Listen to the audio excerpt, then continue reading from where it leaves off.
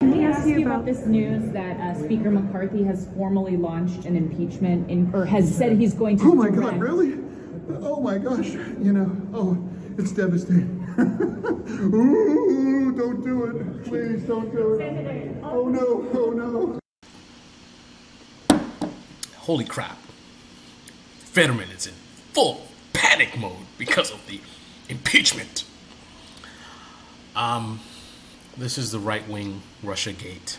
Big corruption on the Hunter Biden side.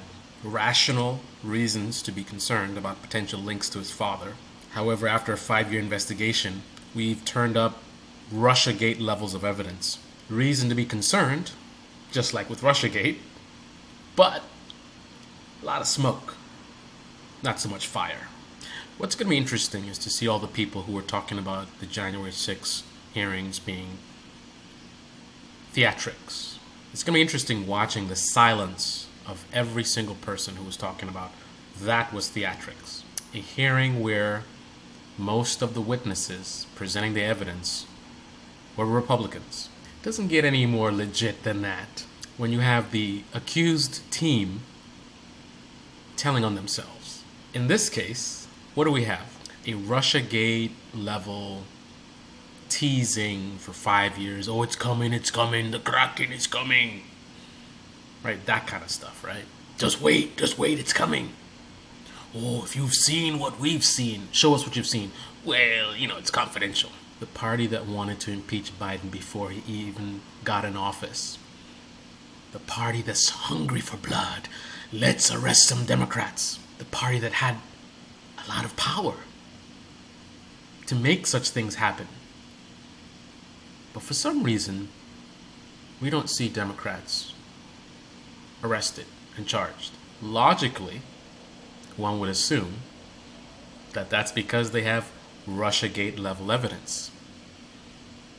P tapes, P tapes. Mm, there is some legit, like, fishy relations between Trump and Russia, and then the campaign's meeting with Russians. The Russians are actually trying to interfere with the election. There's a lot of smoke. It looks bad. But dig and dig and dig and just not really seeing much stuff. Very concerning behavior. That should not happen. And there should be laws changed to prevent it from happening. Democrats, why didn't you do that? But ultimately, it was oversold. Overpromised and underdelivered. Hunter Biden investigation, overpromised and underdelivered. Will all the people that critiqued the January 6 hearings that was so solid that the Department of Justice got involved. And we see the results.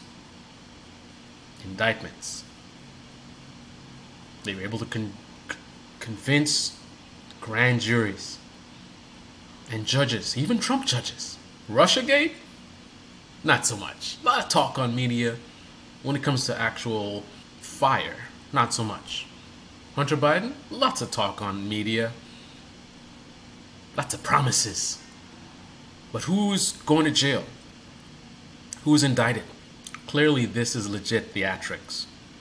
But watch every single person who called it January 6 hearings theatrics be silent and pretend as if this is legit, based on the fact that there is an inch of legitimacy to what's going on. Hunter Biden being so corrupt and being the son uh, of the sitting president is a legit risk to the country. What would a father not do for their son? If you have a very corrupt foreign country that has direct access to the son of the President of the United States, I will say to you, as a veteran, this is a security risk. Is there any fire? Don't know, but it's certainly concerning.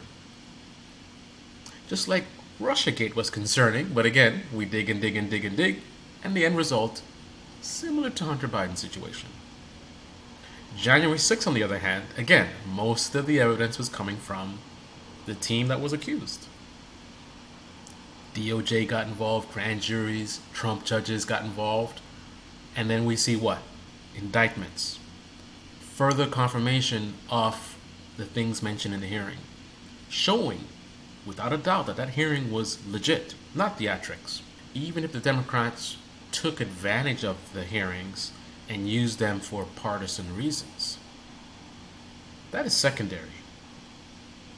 The core of what was doing, what was being done, and how it was being done, right? We didn't have a Jim Jordan situation. Speak Of with the former president on January 6th. Did you talk to the former president before, during, or after the attack on the Capitol? Of course, I've talked to the or was it president. all three? Of course, I've talked to the president. I've been clear about that. I talk to him all the time. Of course, I talked to the president. I talked to him that day. I've been clear about that. I don't recall the number of times. Was it before, during, or after the attack on? I talked to the president after the attack. So not before or during? Right. Okay, and you, uh, and you. And I've been clear about that. Did you talk to the former president that day? I've talked to the former president umpteen times, thousands. I mean, I mean, not thousands mean, on times, but countless, 6th. countless times. I talked to the president. I never talk about what we talk about because I just don't think that's appropriate. Just like I don't talk about what happens in Republican conferences. So Sure. I've talked to the president numerous times. Uh, I continue to talk to the No, president no, since I mean on office. January 6th, Congressman. Yes, I I mean, I've talked to the president. uh, I've talked to the president so many. I can't remember all the days I've talked to him, but I've certainly talked to the president. Did you speak with President Trump on January 6th? Yeah, I mean, I speak. I, I spoke with the president last week. I speak with the president all the time. I spoke with him on January 6th. I mean, I talk with President Trump all the time, and that's that's. I don't think that's unusual. Uh, I would expect members of Congress to talk with the president of the United States when they're trying to get done the things they told the voters in their district to do. Uh, I, I, I'm, I'm I'm actually kind of amazed sometimes that people keep asking this. But of course, I talk to the president all the time. I talked to him, like I said, I talked with him last week. On January 6th, did you speak with him before, during, or after the Capitol was attacked? Uh, I'd have to go. I, I I I spoke with him that day after. I think after.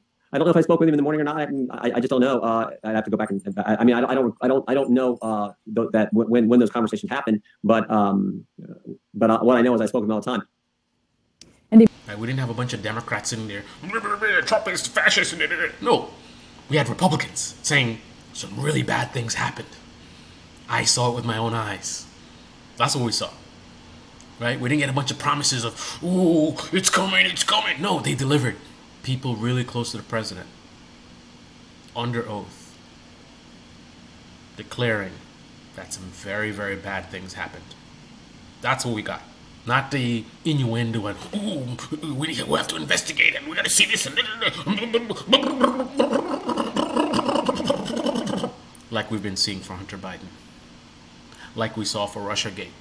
Might there be something concerning that they find out through impeachment? Perhaps. Would I be shocked? No. Would I deny it? Would I be like, oh, this is just the Republicans? No. If you got the evidence, show it. I want to get rid of Joe Biden just as much as you do. This is Baby Channel. Debate me in the comment section below. Click on the like button, subscribe, smash that bell. Be well.